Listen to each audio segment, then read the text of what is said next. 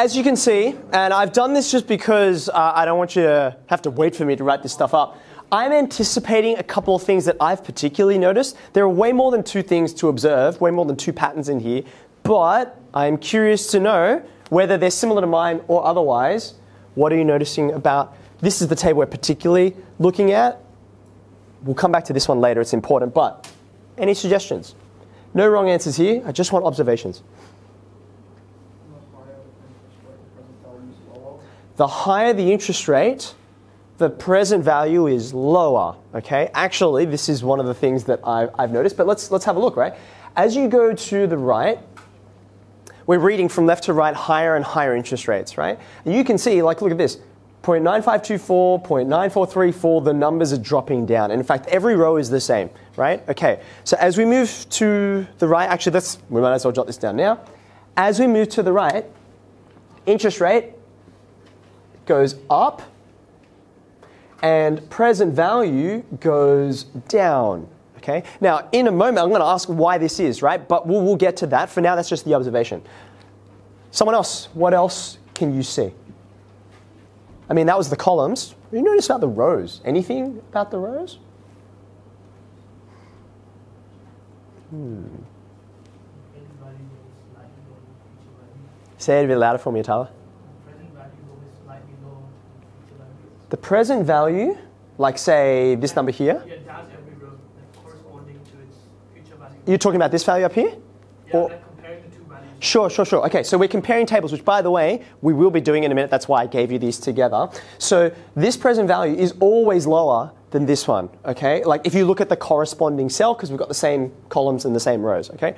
I reckon we can take it to Harvard's point and we can, uh, we can make it even even stronger of a statement, right? Not only, he's right, not only is the present value for any given cell lower than its corresponding future value cell, just have a look at, like, let's just look into, say, the third row right here. This is the third row, uh, n equals 3. Have a look at every present value in this n equals 3 row.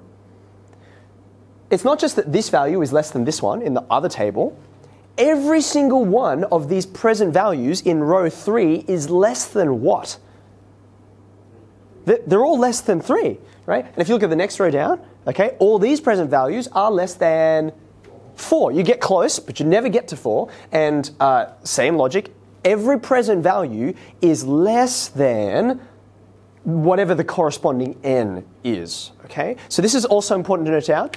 The present values are always less than the corresponding time period, but I'm just going to say n because that's how we're denoting time period, okay?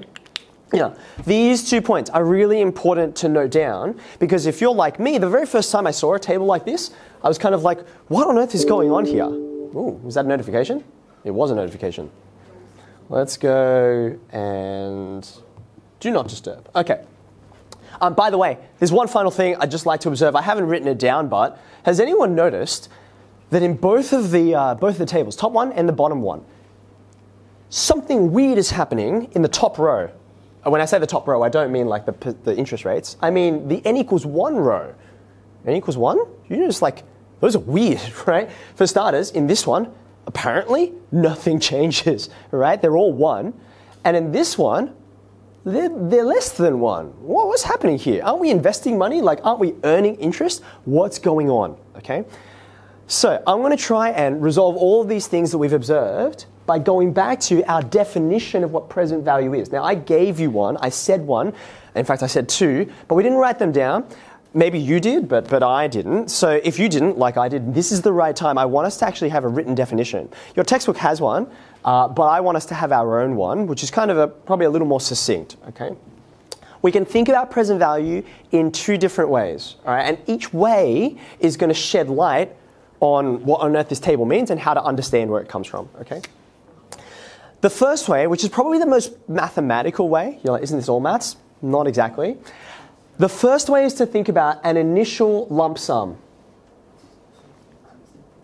So I want you to remember that graph that we drew, right? The graph that we drew, which kind of pictured what was happening as you as you put in amounts, they earn interest. You put in amounts, they earn interest, and so on, right? What I mentioned to you was over here, this final point here, this is the future value. Okay? Actually, I shouldn't put it on this axis. Really should be up here. This is the future value. Okay?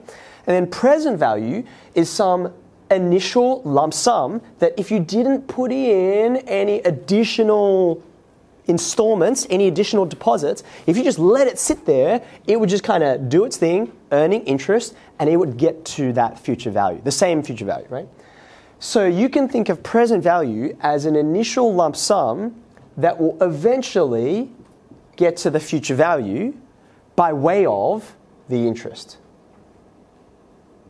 Let me say that one more time, right? The present value is this initial lump sum, like today, hence the name present, right? That if you add interest to it, that's all you do. You don't put more deposits, you just let it sit there at 6% or 8% or whatever it is, and it will get to the future value, okay? So there is definition one. Definition two is actually thinking about the future value and you may recall this, and um, some of you, because you do economics, this sort of made more sense to you. But uh, even if you, I mean, I didn't do economics, and this is actually a very important financial reality to get a, head, uh, a handle on. So this is less mathematical and more like financial and economics, okay? In the future, if I said to you, hey, you can have $100 today, or I can give you $100, you know, in 10 years' time, right? You should absolutely choose the $100 today because in 10 years' time, $100 won't be worth as much. What, what's the reason? It starts with an I? It's inflation, right? This idea of inflation is the same number of dollars, like $100, will be worth less. Or a more technical way of saying is it has less buying power. Okay? Um, if you're curious to understand that a bit more, by the way, um, it is not within the scope of us explaining this, but I will very happily explain it to you because I didn't understand it when I was in year 12. Okay? So, coming back to this, we can think of present value as the future value adjusted downward to take inflation into account. Right? So, like I said, this is kind of more mathematical definition. This is a financial economical definition, but in both cases, we can actually just crunch the numbers. Let me show you exactly how this works because one of them is looking forward in time and the other one is looking backward in time, okay?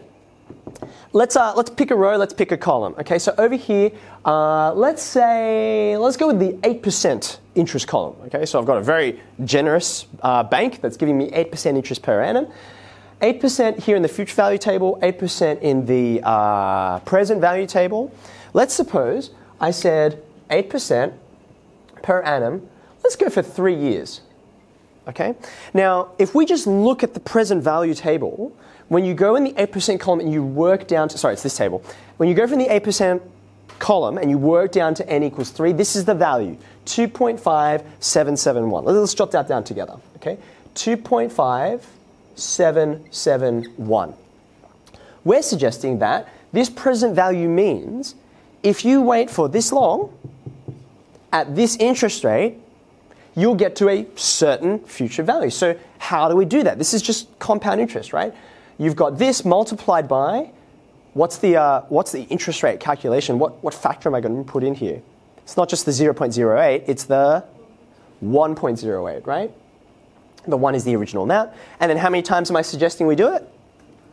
Three times, so I cube. Okay, can you go ahead, reach for your calculator? Should get a number out there, right? What are you getting?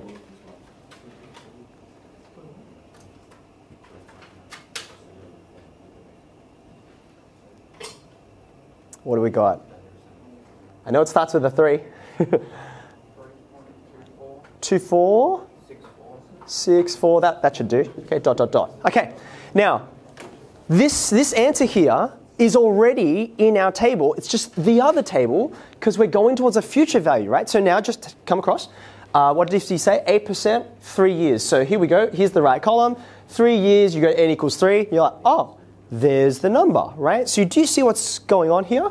Now, this is going forward in time. right? The initial lump sum adds its interest on. Now let's, let's come back over here, okay? The future value, if we go for three years at 8% per annum, we're putting in a dollar every time. That's all these tables are about a single dollar, right? What we know from having looked at the future value table is that you'll end up with this number of dollars, right? That's the future value. By the way, why is it that? And the answer is well, each of the years you put in a dollar, so I've got the first dollar, the second dollar, the third dollar, and then that gets a bit of interest. And that's the 24 and a bit cents. Does that make sense? Okay. Makes sense. It does make sense. Now, how do we adjust for inflation? How do we adjust for inflation? Well, inflation isn't making our, our money bigger, right? It's making it worth less. So actually, we're going to be dividing, right? Doesn't make sense? Every year, according to this interest rate, it's like, wow, your money is worth 8% less every year, the same dollar figure, right? So that 8% I'm going to account for that inflation by doing it three times because every year it happens. Now, just looking at this, this is the part that I said this lesson will be really simple, right? It's like multiplying or dividing. You're like, Mr. Woo, it's hardly worth writing these equations down. These are the same equation. All I've done is just change the subject, right? But the difference is when you write it this way versus this way, you're looking at it forwards in time or backwards in time. Uh, and in much the same way, like anytime you get an equation, right, like this, this is like saying, right, you picture a thing, it doubles, and how big will you get? Versus, you've got something growing and you know how big you're going to end up, so how long does it take to get there, right? Same equation, but looked at from a different angle. Are you following? Okay.